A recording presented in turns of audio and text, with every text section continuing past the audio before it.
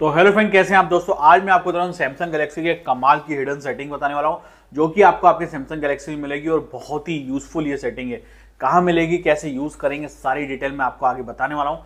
आगे बढ़ने से पहले चैनल को सब्सक्राइब कर लो नोटिफिकेशन बेल आइकन दबा दो, ताकि ऐसी नई अपडेट आपको सबसे पहले मिले और हो सके। इंस्टाग्राम फेसबुक पर ही फॉलो कर लेना। चलते हैं दोस्तों आगे। मेरा नाम सनी और आपका स्वागत है मेरे चैनल ऐसे टेक में तो दोस्तों जैसा कि मैंने बताया, मैं आपको बता रहा हूँ, बहुत ही कमाल की हिडन सेटिंग के बारे में। तो उसके लिए आपको करना क्या है, यहाँ जाना आपको अपने मोबाइल की सेटिंग्स पे। सेटिंग्स पे जाने के बाद आपको जाना है कनेक्शन वाले ऑप्शन पे एंड देन यहाँ चले जाना है वाईफाई वाले ऑप्शन में। तो जो मैं हिडन सेटिंग बताने वाला हूँ, वो मिलेगी आपको वाईफाई के अंदर, और बहुत ही शानदार ये सेटिंग है यार। तो वाईफाई के अंदर जाने के बाद यहाँ जाना है आपको इंटेलिजेंट वाईफाई में।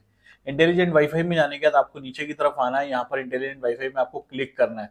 जैसे क्लिक करेंगे तो एक ऑप्शन इनेबल हो जाएगा, यहाँ पर नीचे की तरफ़। कनेक्टिविटी लैब करके आपको दिख रहा होगा, आपको उसके अंदर चले जाना अब उसके अंदर सबसे पहले आपको यहाँ पर ऐसा ऑप्शन दिख रहा होगा। तो ये काम कैसा करता है भैया? ये काम ऐसा करता है, ये आपको बता देगा कि आपने अपने वाईफाई से रिलेटेड जो भी सेटिंग है ना हिडन सेटिंग आप इसके अंदर कर सकते हैं।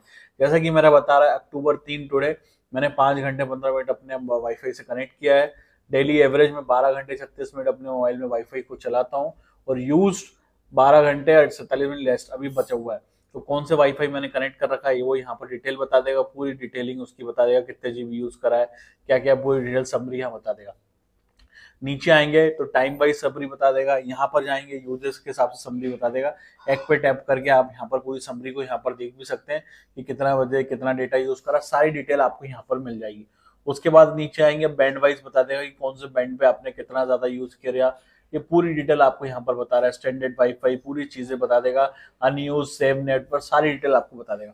अब इसके अंदर एक कमाल की चीज़ यहाँ पर दी गई है होम वाईफाई इंस्पेक्शन अगर आपके घर पे वाईफाई लगा हुआ है या फिर कहीं भी अगर मान लो तो आपको उसको देखना है कि उसकी रेंज कहाँ कहाँ है और आपका मोबाइल कहाँ का सही वर्क कर रहा है वाईफाई नेटवर्क तो आपको यहाँ स्टार्ट नेटवर्क पर क्लिक करना है, यहाँ पर अपने वाईफाई का नाम चूज़ कर लेना है और नेक्स्ट क्लिक कर देना है। एक्सलेंट अभी क्या बोल रहा है? Your home WiFi network is well configured उसके नेक्स्ट पे क्लिक करना है। If you are ready press start button walk around home with your device to check weak signal area तो आपको अपने मोबाइल मोबाइल को लेके सारे घर में घूमना है, जिससे वो चेक कर लेगा कि कहाँ कहाँ उसका वीक एरिया और कहाँ का वो सही वर्क नहीं करता है। ये सारी डिटेल बता देगा और स्टार्ट पे क्लिक कर देना है।